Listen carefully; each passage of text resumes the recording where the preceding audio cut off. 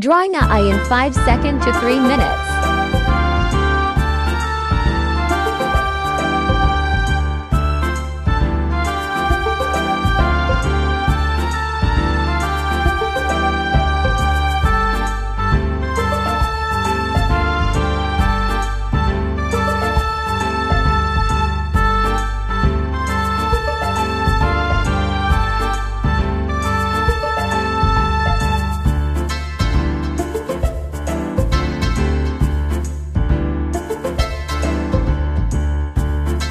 Subscribe for more.